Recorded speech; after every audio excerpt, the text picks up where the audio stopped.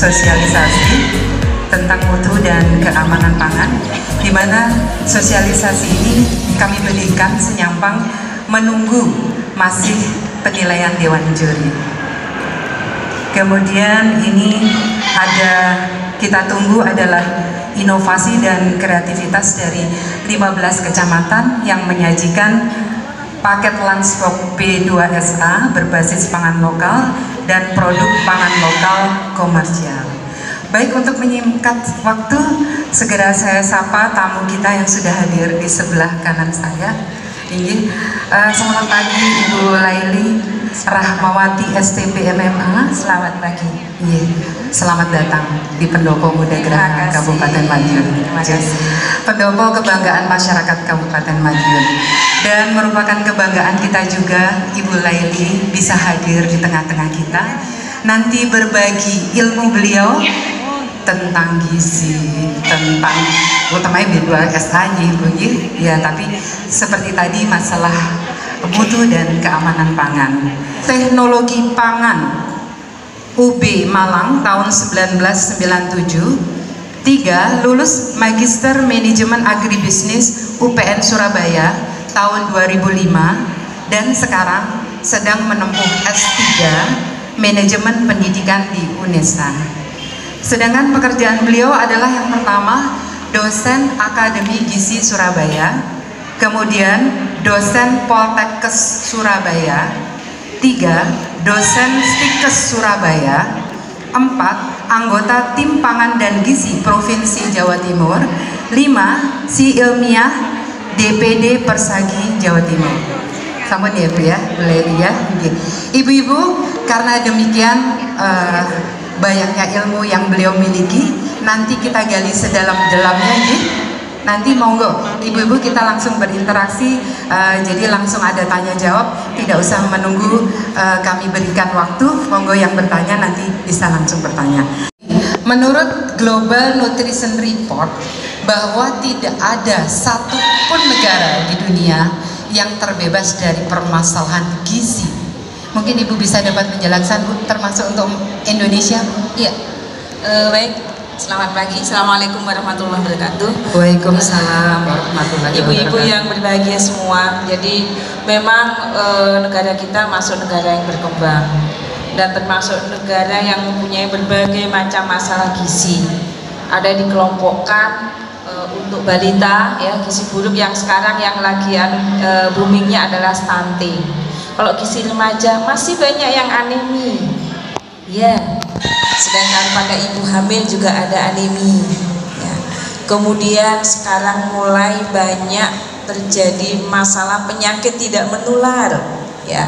Karena pola makan yang kurang baik ya. Tadi ibu bupati sudah menyampaikan pola makan yang suka junk suka go food kurang sayur buah muncullah yang namanya PTM atau penyakit tidak menular ya. Dan itu semua perlu pengelolaan terutama dari keluarga. Jadi semuanya berasal dari keluarga. Jadi kalau ibu-ibunya semuanya pinter terutama ibu PKK yang hadir di sini mampu mengelola menu keluarga dengan baik insya Allah semua permasalahan itu tidak akan terjadi ibu. Ya. Jadi kuncinya di ibu-ibu ya ibu-ibu. iya betul.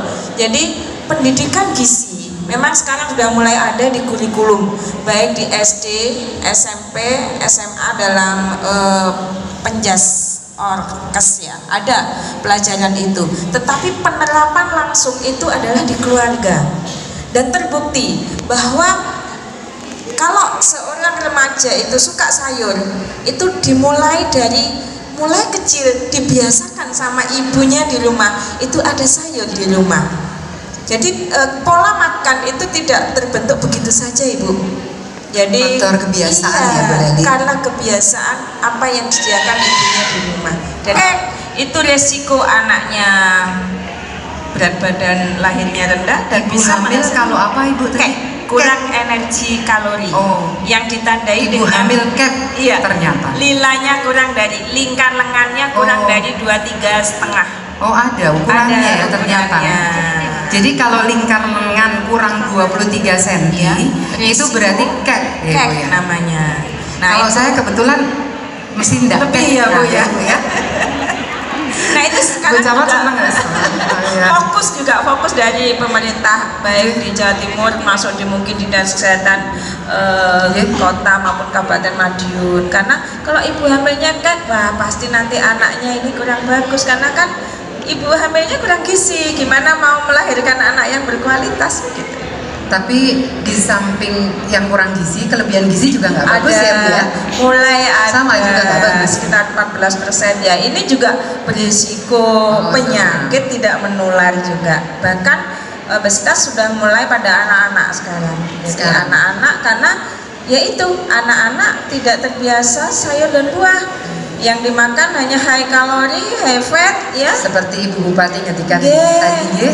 nasi Ah. sama fried chicken gitu aja kan tidak ada seratnya food. ya akhirnya obesitas, yang Obesitas. terjadi kalau obesitas akhirnya penyakit tidak menularnya muncul lebih dini malah lebih dini Iya. ya. Jadi malah juga rawan juga, Sangat juga rawan. juga tidak bagus juga. Kemudian tadi Bu Leli menyinggung masalah stunting ya Bu Iya. Leli. Sebenarnya faktor penyebabnya apa dan apa penanggulangannya untuk menanggulanginya?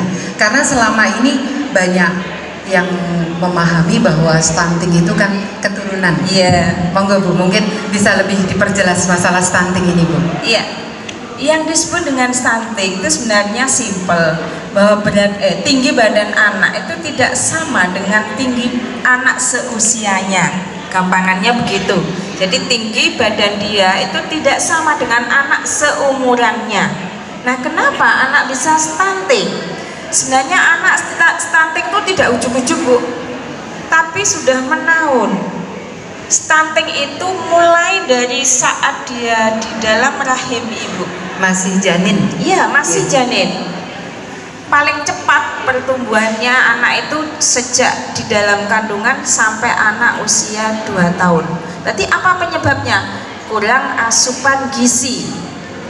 Baik ibunya maupun anaknya setelah dilahirkan. ASI tidak eksklusif. Itu penyebab. Hygiene sanitasi yang kurang. Itu penyebab dari stunting sehingga ini nanti yang dikelola kalau dulu kan fokus ke masalah gizi balita lupa bahwa sebelumnya sebenarnya balita pada saat janin juga perlu dikelola proporsi tubuh tidak terkait dengan Ya. keturunan, tapi hanya di bawah asupan gizi. ya, hanya pengaruhnya hanya maksimal 8-10 persen ya maksimal itu yang Keturunan. menentukan Genetik. ya yang menentukan apa gizi dan stimulasi gizi dan Ya, stimulasi. Kalau makanannya cukup, gizi seimbang terutama protein, mikronutrien, sama stimulasi. Anak dirangsang untuk gerak. Nah, sekarang kan susah juga ya Bu ya. Anak sekarang mainannya Gadget. Ya. Ibu di rumah harus membiasakan atau apa ya, mensosialisakan anak untuk bergerak. Karena pertumbuhan tulang itu tergantung pada stimulasi, aktivitas fisik. Gitu Iya, iya. Terutama protein hewani dan mikronutrien ya. Protein hewani tidak harus daging terutama pada ikan kerang ya. Jenis kerang-kerangan itu sangat tinggi zincnya terutama. Jadi protein dan mikronutrien. Mikronutrien yang penting adalah zinc kalsium Fe dan vitamin pada sayuran dan buah-buahan itu sebenarnya yang penting pada anak-anak sehingga harus dikenalkan sejak dini biar tidak terjadi stunting selain eh, memotivasi untuk anak selalu bergerak selalu bergerak. Jadi enggak yang bergerak jarinya. Kalau gadget itu yang bergerak jarinya. Apalagi kalau sudah main game, Iya. lupa makan, iya betul sampai jam-jaman ya. Nah, itu itu yang harus berarti dari ibu-ibu harus juga lebih mengingatkan putra-putrinya maupun sering ber- memberikan sosialisasi di wilayah ibu masing-masing seperti itu ya. Kemudian ibu kalau masalah terkait dengan kecerdasan, Ibu. ya salah satunya adalah mempengaruhi kecerdasan dan imunitas anak jadi Daya tahan tubuh ya, ya, Bu. daya tahan anak nggak pede dan anak kurang cerdas kemudian terkait dengan kecerdasan kecerdasan itu juga bukan mutlak dari keturunan jadi Yang jelas sih ibu semua Ya. bahwa kecerdasan itu bukan dari keturunan. ya bukan mutlak hanya Ya. keturunan itu sekitar 10 persennya yang Karena mempengaruhi- ibu saya potong. Karena selama ini mungkin juga ibu-ibu ada yang memahami sama dengan saya. Mudah-mudahan hari ini kita berubah pemahamannya. Kalau dulu seperti ini bu, kerja itu menurunnya dari ibu. Tapi kalau proporsi badan itu dari ayah, seperti itu dulu. Iya, memang ada di Bu, dalam sekarang buku ya. Mendel ada Iya. ada teori itu. Memang iya mempengaruhi, tapi tidak banyak. Oh, iya. Ya, tetap bu, tetap pengaruh. Oh, tetap juga. Ya, tapi tidak banyak, tidak lebih dari 10 persen. Oh. Ya, Tidak mayoritas ya. tidak mayoritas. Jadi misalkan dulu ibunya nggak terlalu pinter, udah tetap pede aja selama terus distimulasi, gizinya dipenuhi, insya Allah Pinter. bisa melejit. Dan untuk pinter itu kan terkait dengan perkembangan otak ya. Sebenarnya otak itu begitu bayi lahir, otak itu sudah terbentuk 25 persen. Lahir, Lahir. baru lahir. Berarti waktu janin itu pembentukan otaknya 25% ya Bu ya. Oleh karena Iya. itu selama hamil benar-benar gizi ibu harus dijaga. Harus dipenuhi asam folatnya, proteinnya, Fe-nya, asam lemaknya. Dan itu semua tadi ikan katanya ikan di sini banyak ya. Oh, itu bagus. Karena pada ikan itu asam lemak tak jenuhnya itu tinggi dan asam lemak tak jenuh itu merupakan bahan dasar untuk pembentukan sel otak. Lahir 25% begitu Ya. dia nambah usia sampai 2 tahun pembentukan otaknya itu sudah 75% bayangin.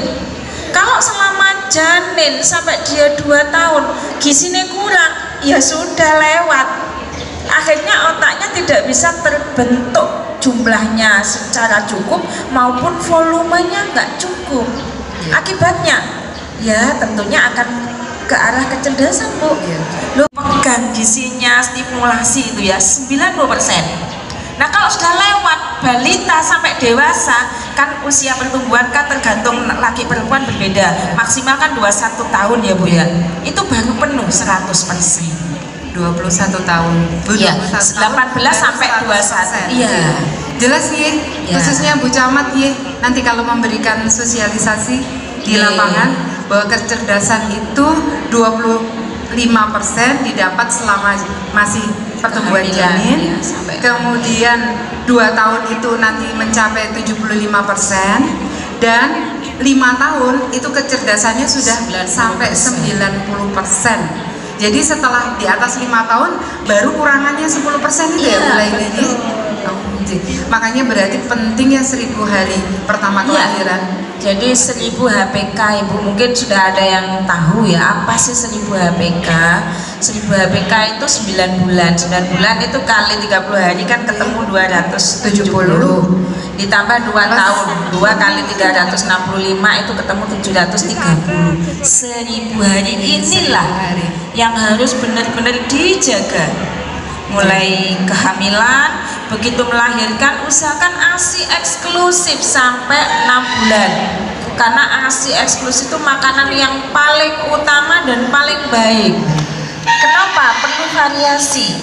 Karena eh, masing-masing bahan makanan itu mempunyai zat gizi yang berbeda Fungsinya juga berbeda ya, Bu Laila? kalau kita mengkonsumsi makanan yang beragam, maka akan terlengkapi kebutuhan kita. Satu sama lain itu akan melengkapi. Sehingga ibu-ibu pun kalau menerapkan makanan pada si kecil atau atau cucu ya.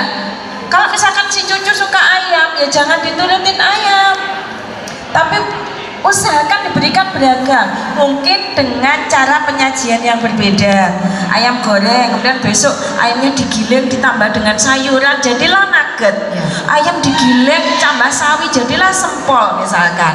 Nah itu perlu kreativitas dari ibu. Sehingga kalau anak itu memang sangat susah untuk sayur sawi disuruh makan jarang mau. Tapi bagaimana kita menyajikan sayur itu pada lauk? Digeleng dengan ayam dijadikan sempol digiling jadikan nugget. Insya Allah anak akan mau. Nah ini perlu kreativitas. Mudah-mudahan nanti di lunchboxnya ada yang seperti ada itu. seperti itu. Karena Bu menurut penjana acara kita lomba cipta menu hari ini?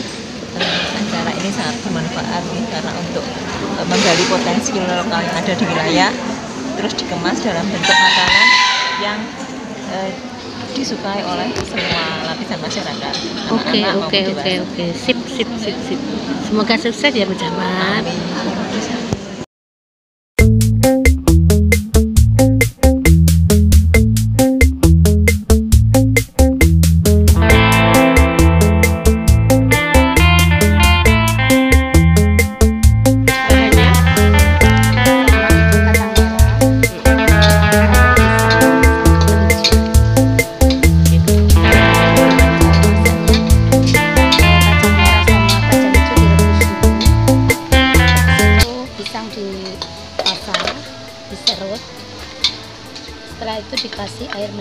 sama jagungnya